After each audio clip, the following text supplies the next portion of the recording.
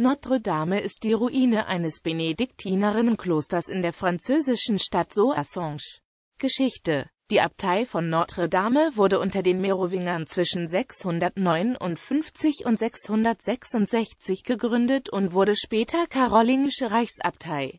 Gisela, die Schwester Karls des Großen, war hier Äbtissin und seine Tochter Rotrode Nonne. Eine bedeutende spätere Äbtissin war Katharina von Bourbon, die Tante Heinrich IV. Unter Kaiser Ludwig dem Frommen wurde das Benediktinerinnenkloster Notre-Dame zu Soissons Mutterkloster der Reichsabtei Herford, während die Benediktinerabtei Corbie Mutterkloster der Reichsabtei Corvey wurde. Das einstmals umfangreiche Abteigelände umfasste drei Sakralbauten, die Abteikirche Notre-Dame sowie die Kirchen St.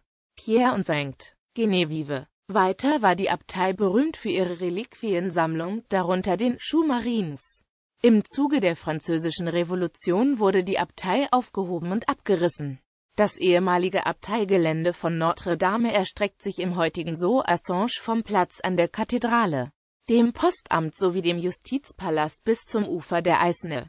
Erhalten haben sich von den Sakralbauten lediglich ein Stück des nördlichen Querschiffes der Abteikirche mit zwei ornamentgeschmückten romanischen Fenstern sowie die zwei westlichen Joche des Langhauses von St. Pierre, die heute als Ehrenmal dienen